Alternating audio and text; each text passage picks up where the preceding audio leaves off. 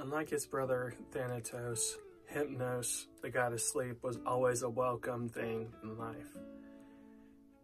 Sleep takes away our worries, our sicknesses, and our unrest. And ironically, Hypnos was the first god, now I think about it, that I ever really prayed to. Back when I first started a polytheistic tradition to myself, when I didn't know anything, I used to like chamomile incense and soothing incenses to relax myself before bed. And a lot of people do that. And unknowingly, you can, in a way, invoke the presence of Hypnos to help you relax and sleep. And like, and you'll notice in the hymn, an Orphic hymn to Hypnos, that he was very much a welcome friend. And like I said, his brother Thanatos, which is death, or really peaceful death is more of what Thanatos is, which is also kind of welcome compared to violent death that the Keres and all them can offer.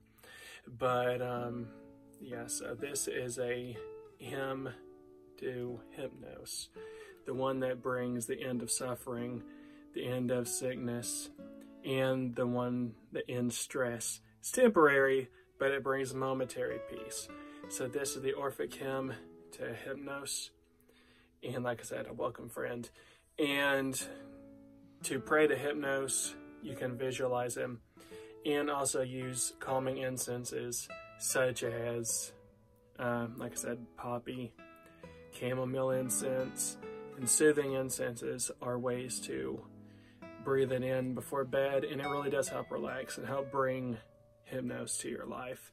So here's peace and hope for you, friends, from your daily stresses and worries and sicknesses, that as you sleep, may you sleep a good sleep, a restful sleep, and may that temporary sleep be the end for a while to your worries. Hypnos, the Lord of all blessed ones, and of mortal humans, and all living. Whatever the wide earth nourishes, you alone rule over all and draw near to all, binding up bodies in shackles, not rod of metal, driving care away.